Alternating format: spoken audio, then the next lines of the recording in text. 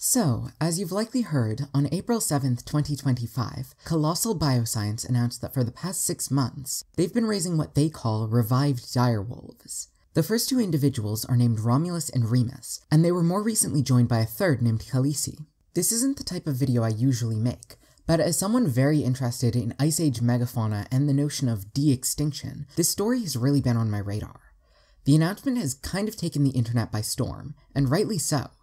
If true, this would be not only the first ever example of a Pleistocene species being brought back from extinction, but also the most successful attempt to revive an extinct species period. In 2003, a cloned Pyrenean ibex was born, reviving the species after three years of extinction. But in that case, the clone unfortunately died shortly after birth due to a lung defect, giving the Pyrenean ibex the unique distinction of being the only species to go extinct twice. However, unlike in the case of the briefly de-extinct Pyrenean ibex, Romulus and Remus are not clones. Rather than copying an existing genome, the scientists at Colossal reportedly identified 14 key genes that differed between their two ancient direwolf DNA samples and modern grey wolves, and created 20 modifications to make the grey wolf genes look or produce similar traits to the genes seen in direwolves. So, while direwolf DNA was analyzed to determine the changes to make, no direwolf DNA was actually included in Romulus and Remus's genomes, let alone a complete direwolf genome. This is especially eyebrow-raising if you know a little bit more about the taxonomy of direwolves. See, Colossal Bioscience have repeatedly asserted that grey wolves are the closest living relatives of direwolves. The thing is, according to existing research, this is decidedly not true. While direwolves had very similar looking skeletons to grey wolves and were thus once assumed to be close relatives, genetic analysis showed that these similarities were just a matter of convergent evolution, where two different organisms develop similar traits to fill similar ecological niches. Biologically, direwolves actually have been estimated to have diverged from grey wolves about 5.7 million years ago. That means that grey wolves are more closely related to coyotes, dholes, African wild dogs, and jackals than to direwolves. In turn, that makes direwolves as closely related to all those other species as to grey wolves. Now, Colossal Bioscience claims to have research supporting their claim that direwolves were actually most closely related to grey wolves, descending from a hybrid lineage formed closer to 2.5 to 3.5 million years ago. But since that research hasn't as of yet been published or peer-reviewed, it's really hard to just take them at their word. Colossal claims that their research showed direwolves to be 99.5% genetically similar to grey wolves, which is kind of hard to believe. Like, it's true that a very small percentage of the genome accounts for a lot of difference between many species, but 99.5 seems very close for two species usually considered to be in different genera. Once again, based on currently available research, direwolves likely branched off from their common ancestor with grey wolves around the same time humans branched off from our common ancestors with chimps, and we're only about 98.8% genetically identical. Considering canids also breed faster and would thus have more generations in that amount of time, I have some serious questions about the 99.5% figure. Regardless, even taking Colossal at their word, they only modified 14 out of 19,000 genes.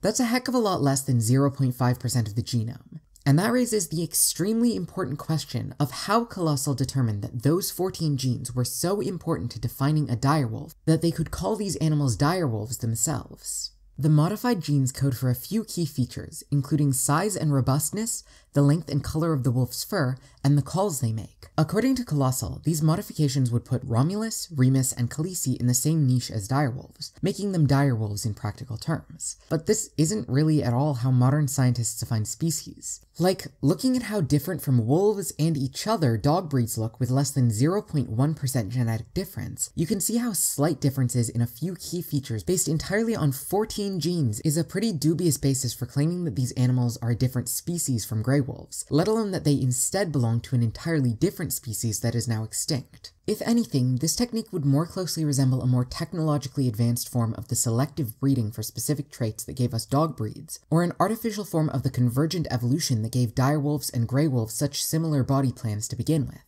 Now, that's not necessarily without merit. A big part of the idea of de-extinction is to recreate animals that can fill niches that are currently empty, which can create a whole cascade of potentially beneficial environmental impacts. So, in theory, a modified grey wolf that filled the same niche as a direwolf could have the same impacts. But that doesn't really apply in this case, because the niche direwolves once filled simply doesn't exist anymore. There are no massive herds of Ice Age megafauna for them to hunt, and there are no plans to release these modified wolves or wolves like them into the wild at any point in the future. There's also another element to consider, which is how closely these modified traits even make the wolves resemble direwolves at all. Genes are complicated. There are all sorts of interactions going on, and isolating a few traits might not be the most representative. I'm not a biologist, so I can't really speculate on how these considerations apply to this case, but I do have a lot of questions about how Colossal can even be sure that all the genes they identified in the two direwolf samples would actually manifest in the ways represented by their modified grey wolf genes. Related to this, as discussed in the Time magazine article about this project, some genes can have a variety of seemingly unrelated effects. For example, the three genes Colossal identified as coding for white fur in the direwolf samples can also result in deafness and blindness in grey wolves. To avoid these risks, Colossal made modifications to two genes to shut off production of black and red pigments, creating the same phenotypic results. This raises a whole bunch of questions for me. Like, if these genes were present in direwolves without the same risks as when they show up in grey wolves, doesn't that suggest there are some broader genetic differences we're ignoring here that might have their own farther reaching effects? Alternatively, what if these genes had the exact same risks in direwolves as for grey wolves, and were a rare feature rather than a species-wide trait as Colossal seems to imply? With only two samples, it seems extremely plausible that other direwolves would have lacked this trait, especially when you consider that white fur is kind of a survival liability outside of snowy environments, and most direwolves didn't live in such environments. We could be looking at a rare trait, or a regional variation specific to direwolves from the more northern regions both samples came from. Either way, it seems kind of dubious to treat this fur as such a key trait for direwolves that it needed to be replicated by modifying entirely different genes from the ones seen in the ancient samples. But I suspect Colossal's reasons for emphasizing something like white fur might not have been a matter of accurately representing direwolves, so much as creating a more striking looking specimen, and one with a clear connection to a certain popular media property that features so-called direwolves. The Colossal team has not been remotely shy about connecting this project to Game of Thrones, naming their third wolf Khaleesi after a title from the series, taking promotional shots of Romulus and Remus in the Iron Throne prop from the show, and even apparently bringing in series author George R. R. Martin and several leading actors as quote unquote cultural advisors. Now, do I think that they made the wolves white primarily to look like the one white direwolf in the series? No, definitely not. However, I don't think it's a stretch to think that looking like a really well-known pop culture depiction of direwolves may have been an influence on what the Colossal team prioritized. So I think it's very easy to look at this whole situation as basically just people with access to biotechnology doing something because they think it's cool, and then trying to pass it off as something way more meaningful than it really is. There's clearly a lot going into the publicity of this whole thing, with Colossal going to major magazines with this story before publishing any scientific papers on what they've been doing. Plus the whole Game of Thrones connection and the fairly questionable arguments they've made for calling these animals direwolves. However, I do think there's another layer here that's worth talking about. See, Colossal hasn't just been working on this direwolf thing. Alongside this project, they've also been working on efforts to support the critically endangered red wolf population of southeastern North America. Now, when I heard this, my ears kind of perked up. Red wolves used to be common in my home state of Virginia, and were one of the species hunted by indigenous peoples like the Powhatan, as well as being an important part of the overall ecosystem. However, with the expansion of the population and agricultural activity following colonization came overhunting and habitat loss. Our local red wolf population dwindled by the mid 20th century, and coyotes, which were better able to live in areas of heavy human development but had a hard time competing with larger red wolves, were able to move in from further west. Today, what's left of the red wolf population mostly exists in captivity, with only 16 known individuals still living in the wild. This leaves the East Coast largely without one of its most significant medium-sized predators, allowing deer populations to overexpand and overgraze in some areas, and overall just really throwing off the natural balance. Alongside their creation of the so-called dire wolves, Colossal reportedly cloned four red wolf coyote hybrids as a starting point for further plans to bolster the species. In the Time article, they discussed the concept of using the technology they've been working on to lend genetic diversity to endangered species like the red wolf. And with this in mind, a lot of stuff potentially starts to click. See, the pure red wolf population is tiny and doesn't necessarily have the genetic diversity to form a healthy, self-sustaining population. However, there are a whole lot more coyote red wolf hybrids than there are pure-blooded red wolves. This leaves us with a whole lot more red wolf genetic diversity locked away in a population that looks and behaves a lot more like coyotes. But what exactly makes coyotes and red wolves distinct? Well, the key differences include size, robustness, coat pattern, and calls. That is, all the same things this direwolf project changed in Grey Wolves. It's impossible to judge motivations as an outside observer, and I'm sure different people in the company have different goals, but I wonder if the whole direwolf thing might just be their form of a proof of concept that gets loads of attention and funding, so they can use the same technology for more practical means of increasing genetic diversity in an endangered population.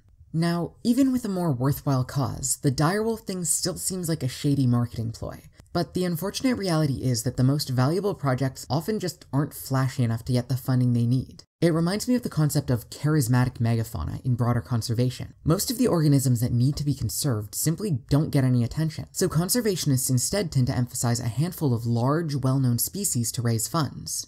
This feels like it might sort of be a biotech version of the same situation. And considering all the headlines we're seeing about these dire wolves compared to the amount of coverage the cloned red wolf coyote hybrids are getting, I think it's clear that the flashy nonsense is way more successful at catching attention. So, from the standpoint of recreating direwolves, I really don't think Colossal has done that. They've created modified grey wolves with certain similar traits to direwolves, in a project that frankly has no direct value towards either conservation or de-extinction. These animals are never going to recreate the role direwolves once filled in the ecosystem, because that environment doesn't exist anymore. And while it might be cool to call them direwolves, we don't really know how closely they resemble actual direwolves. Considering how few genes have been altered, I really can't imagine that they are very similar. If we wanted to see what actual direwolves looked like, I think we would need an actual direwolf clone, so we could see how the genes would actually manifest together in a living organism, and that simply isn't what this project does.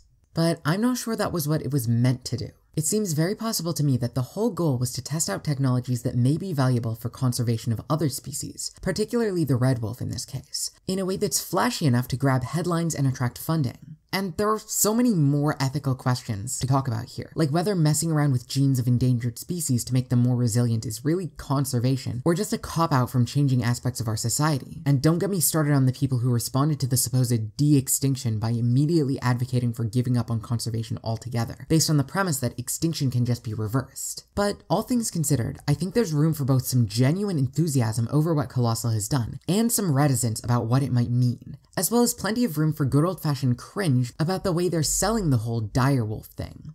I'm still not sure what my ultimate take here is, because on one hand, I do see tremendous potential in this technology, but also with the way Colossal has been so much more focused on publicity than publishing their research, I can also see this whole situation ending up as a Bobby Broccoli video a few years from now. So yeah, those are some of my thoughts. Agree, disagree, let me know in the comments, and also let me know if you'd like to see more of this kind of video from me in the future. I've thought about covering news about new archaeological discoveries and stuff before, but I'm usually too slow to talk about anything while it's still news. This one was pretty fun to make though, so I might be down to try again in the future. Anyway, thanks for watching everybody. Like, share, subscribe, do all that fun stuff, and I'll see you next time.